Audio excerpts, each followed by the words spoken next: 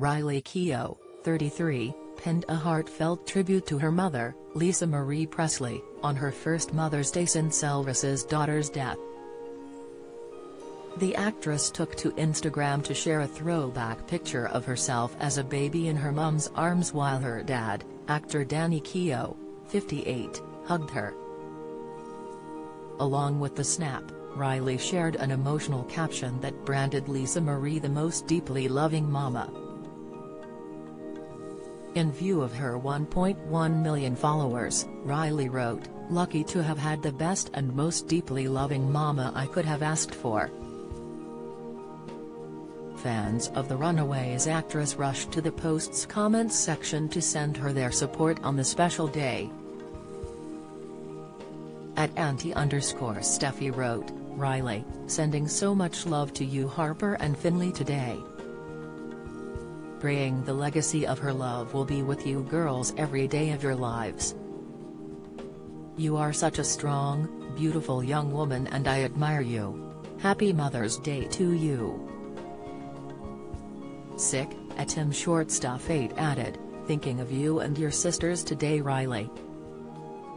Sending so much love to all of you. At Freya Spirit Girl 7 typed, your mom is with you and your sisters always Riley. Watching over you with live. Sending my thoughts and prayers to you and your family. Sick, Lisa's mother Priscilla Presley, 77, announced that her daughter had been rushed to the hospital on January 12, prior to her death. Don't miss. Les Dennis takes savage swipe at ex-wife Amanda Holden's sexy Paris pics, latest, ITV may lose Holly Willoughby if Philip Schofield not taxed, says Dan Wootton, update, Billie Piper and Daisy May Cooper lead red carpet looks at 2023 TV BAFTAs, pictures, shortly after Priscilla's initial Facebook post, her publicist made a statement confirming Lisa had passed away.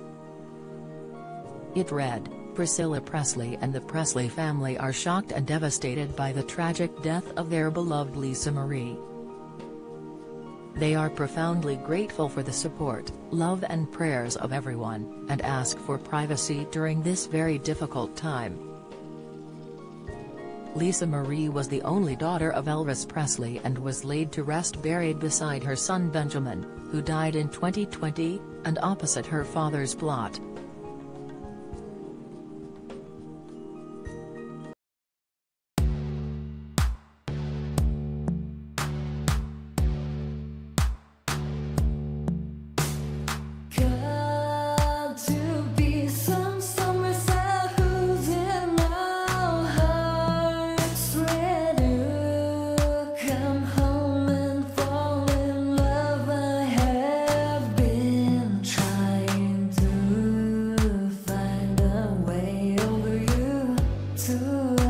dance.